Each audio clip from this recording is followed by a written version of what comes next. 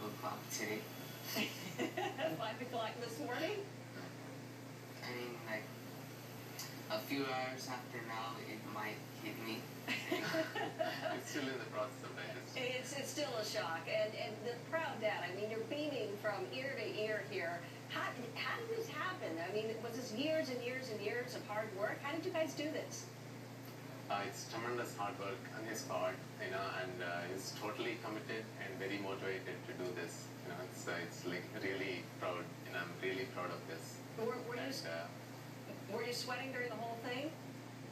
um, not really. Actually, I told him that I'm, I'll be happy, you know, whatever is the result. So we will. I'm pretty cool. And how did you guys prepare? What did you do? Were you part of drills? Did you read the dictionary?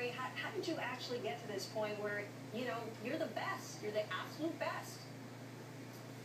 Uh, my dad collected words for me, so I studied those words, had my mother quiz me on them. Occasionally, my brother quiz me on them.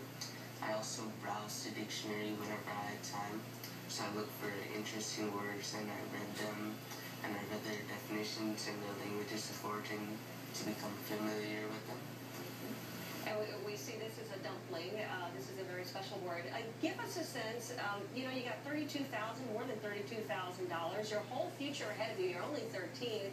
W- what's next now that you're not going to be spelling? Uh, now that I won't be participating in spelling bees anymore, I plan to study physics and math. So I want to hopefully do well in math Olympiads and physics Olympiads next year. Mm-hmm. And I understand you're, you're looking to Harvard, maybe? Is that right in your future? Yeah.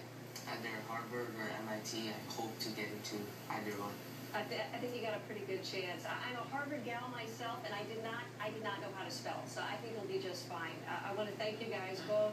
Uh, Dad as well. You must be very, very proud of him. Uh, clearly, this is a very bright future for both of you. Thank you so much. Thank Good you. to see you. Congratulations. Thank you so much. Check out the video. This is a small plane going through the roof.